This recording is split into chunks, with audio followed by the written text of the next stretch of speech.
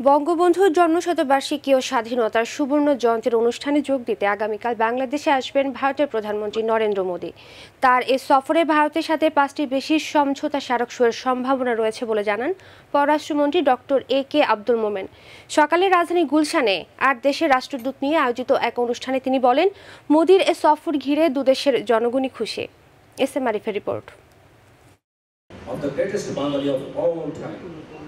বঙ্গবন্ধুর জন্মশতবার্ষিকী ও স্বাধীনতার সুবর্ণ জয়ন্তী উপলক্ষে রাজধানীর গুলশান বিচারপতি শাহাবুদ্দিন পার্কে আলোচনা সভার আয়োজন করে Dhaka Uttar city corporation.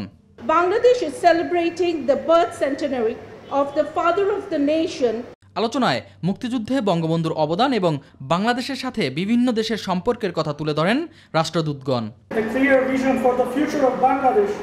A clear vision for the future of Bangladesh with a goal to achieve Sonar Bangla The international community in the United States has not forgotten this sacrifice, and we vow to continue to work with you to find development of this Bangladesh we can see in the slogan coined by the father of the nation উত্তর city mayor জানান বঙ্গবন্ধুর আদর্শে এগিয়ে যাচ্ছে দেশ Bangladesh today is on the highway of development under the able leadership of Bangabandhu's daughter, our Honorable Prime Minister Sheikh Hasina.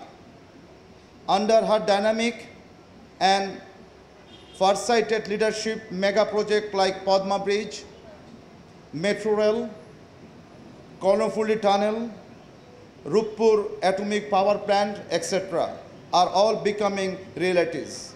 As a continuation to all this, we will soon be entering the era of underground rail communication in Dhaka. May I now request all present to rise and take a vote with me to adopt the policy of Bangabandhu. মুক্তিযুদ্ধে বঙ্গবন্ধুর অবদান শীর্ষক প্রদর্শনীর আনুষ্ঠানিক উদ্বোধন শেষে ঘুরে দেখেন পররাষ্ট্রমন্ত্রী পরে ভারতের প্রধানমন্ত্রী নরেন্দ্র মোদীর বাংলাদেশ সফরের প্রতিবাদে দেশের বিভিন্ন মহলের আন্দোলন নিয়ে কথা বলেন ডক্টর এ কে আব্দুল মোমেন। বাংলাদেশের অধিকাংশ জনগণ এই ওনার আশাকে অভিনন্দন জানাচ্ছে। বাংলাদেশের অধিকাংশ জনগণ আমাদের স্বাধীনতার পঞ্চাশ বছর পূর্তি এবং বঙ্গবন্ধুর মুজিব বর্ষ পূর্তি অভিনন্দন জানাচ্ছে।